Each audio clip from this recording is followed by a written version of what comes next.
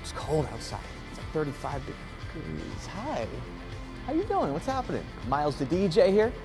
Xcel Energy Center in St. Paul, Minnesota. A little cold outside, but we're gonna warm things up inside with my favorite band ever, Arcade Fire. Was that stupid? That was dumb, huh? Don't don't use that. Don't use that. What's your history here in Minnesota? I'll be honest. I moved here two years ago from the Bay Area. I did radio out there forever, so I don't really know the history with Arcade Fire and uh, Minnesota so much. So tell me a little bit about that. Venues you played. Was our first show at the 400 Club? Or An early show was. seventh, seventh. No, Seventh seventh, Street. Street Entry. That was the first show. It might Probably, Or was, it might, I don't remember. We, I think we played both of them. Yeah, But maybe 7th Street Entry was first, and then 400 Club was later. on the funeral. I mean, we've been coming here Yeah. for more than a decade. Yeah. and then we played First Ave at some point. Yeah. I think on the Neon Bible tour Yeah. with LCD Soundsystem. Like genu- No, it's not true. Genuinely, the wildest thing I've ever seen is Minneapolis on a Friday night in the middle of winter, and Yeah. just people are like, They need des- something to do. desperate to like, be alive. Give me and it's something. like- yeah, yeah. Like giant Midwesterners, it's like Right. so so much humanity. It's, it's, Right. it's maybe the most overwhelmed I've ever been is like Minneapolis on a Friday night. Well, your music certainly is something that can inspire that, right? I mean, Yeah. especially watching you on stage for the last, what, 13, 14 years, there's so much that, so much passion and energy you have on stage. So to have that in the winter when it's cold and we need something to do, like, I appreciate that Mm-hmm. from you guys. Um, Roy Wilkins. Roy Wilkins Auditorium, Played yes. there twice. Right. Yeah. speaking of LCD Soundsystem, they will be there in a week. That's where we Oh, played right. with them. Right. Actually. Uh-huh. Yeah. So if you want to come Right. back and hang out, we can I'd do love that. to. Yeah, yeah, Yeah. They're a great band. Probably should go home, but They're No, an all they're an all right band. They're an all right. let's- Yeah, they're yeah, fine. let's not I mean, have you heard them. the new record? Like, uh, Yeah. It's only the best thing of the uh-huh. year. yeah. Well, besides. Wait, Hey. wait. What? No, I was actually asked this. I was at. we were- started the interview over. One thing I really appreciate about this record, and this isn't like a backhanded compliment in any way, because I've read some articles. We're coming. We're coming Yeah. back. I got you. Alright. Don't worry. Um, but I, I, I, think I think it was Win that was saying things about how yeah people come up to me and say hey I actually really like this album right right and and what bugs me about that so much is that there's a narrative of of reviews that come Yeah. out on listening to a record once or twice and that becomes the narrative that exists Yeah. for people they're so influenced these days and that's sort of Right. what the record's about in a lot of ways for me is the culture we're living in social media instant gratification what I love about Arcade Fire, and this record in particular, is that it's probably the first one, much like a Radiohead album for me, where I got to listen to it like five, six, seven times Yeah. to really mm-hmm. fully appreciate it, which a lot of reviewers I don't think do. But I think it's just such a testament to your band and the art that you continue to make, and you push the envelope, and it's become one of my favorite Arcade Fire albums Oh, wow. Cool. because of that. Um, with all of the, the passion and energy that you guys put into every release, now that it's out there in the world, um, you're playing these songs live. I mean, what, what's the feeling that you're getting from the response that you're getting on stage, and just the overall just sort of vibe that you're getting from the album? I've been having a lot of fun. I feel Yeah. like these shows have been maybe m- the most fun I've had in a while playing Arcade Fire shows. It's been, I mean, particularly this setup, but Mhm. new songs too. Yeah, it's been it's been a lot of fun. I was getting. It's always um, it always takes a while when you put out a record to really get into the groove of playing that record. Like Sure. the first few times you play the songs live, it's like still feels like a new a new friend. okay. Uh, but yeah, I feel like we've we've developed pretty good relationships with, with, with a lot of these songs. I've been trying to kind of stay away from the stage setup and what, what you're doing Right. on this tour to be surprised, but it's in the round. Yeah. It's this incredible stage setup, unlike anything the band has ever done before.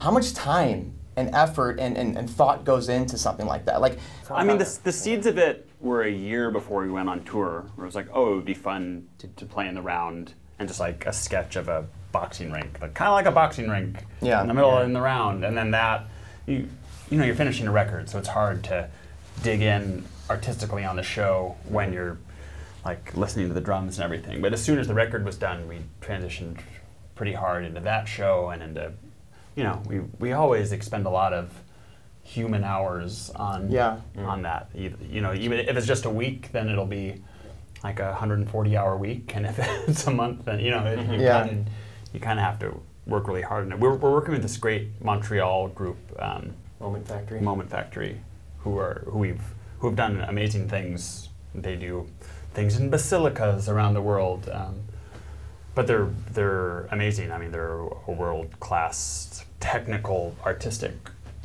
organization, um, and they they really have made the stage show happen. Like we were like, here's a here's like a sketch on a napkin, and they're like, Okay. here's a 14-page PDF Yeah. like presentation. You're like, that is all very beautiful. How Yeah. much does this cost? Okay, let's not do that. How much does this cost?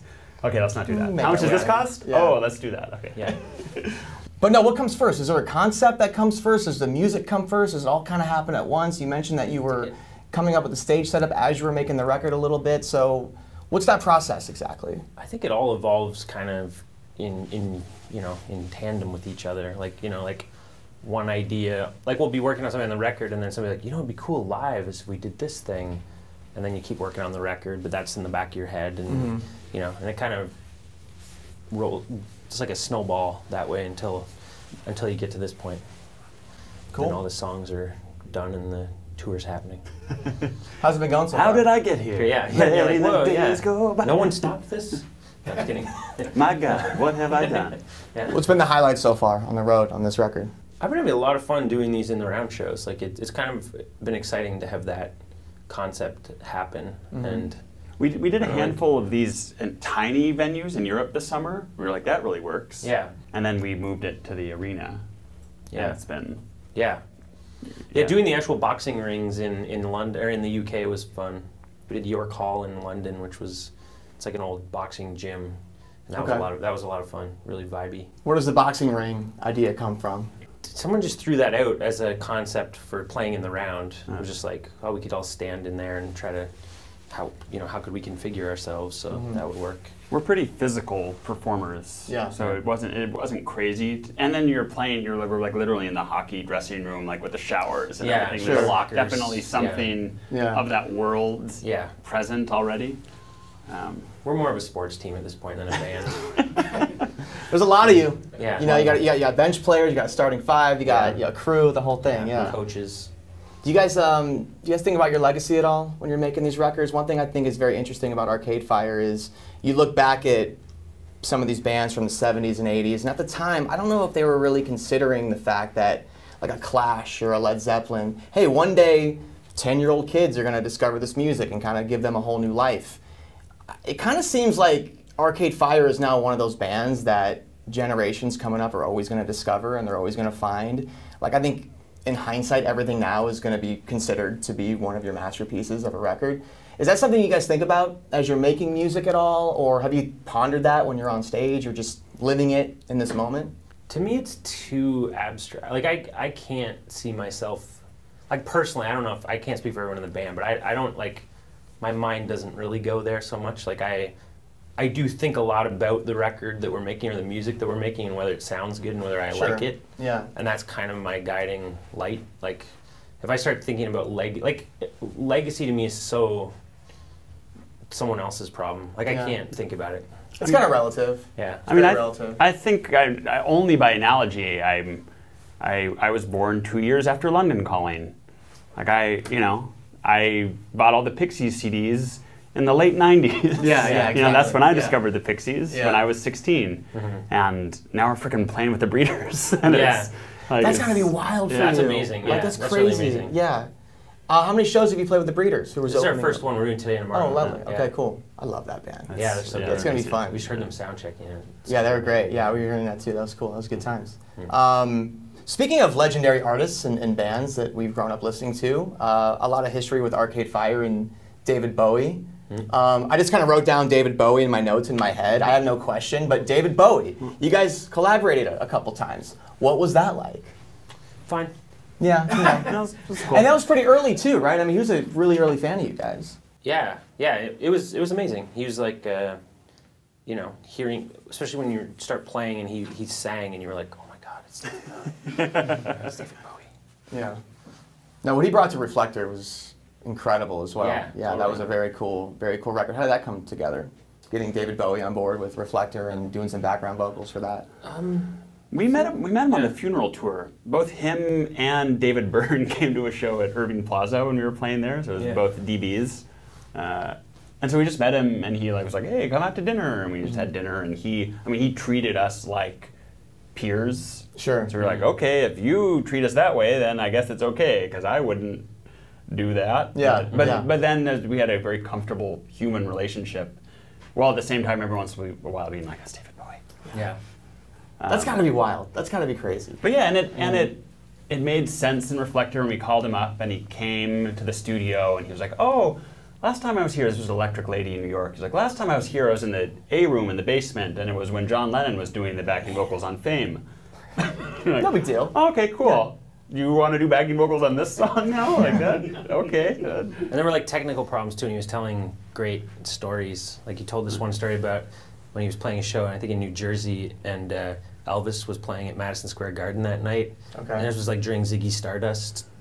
David Bowie, and he got off stage, and he was like, "I can make it to the to the Elvis show." So he got in a car, went to Elvis, went to MSG, got there in the middle of Elvis's set, but he was still in full Ziggy Stardust like Oh, what? And he like walked he walked in and like tried to take his seat subtly but he could see, see elvis was just like glaring at him while he was saying like you asshole This must have been like Fat Elvis era too, right? This was like later Elvis, I would It'd like mid 70s i'm yeah, sure mid seventies Elvis. early, okay, yeah, early we're getting to the 70s end. yeah yeah, good Yeah. times. What's next for the band? Um, I've heard some rumors. I've heard. I've read some stories. I, I think I read a quote. Correct me if I'm wrong. About what?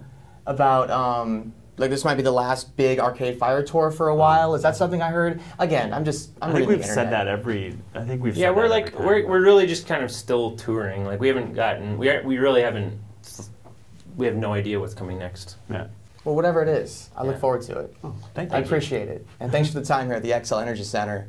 In the bowels and some backstage Yeah, area. yeah. It's good times. windowless room Um, Yeah, yeah. Miles the DJ with Arcade Fire.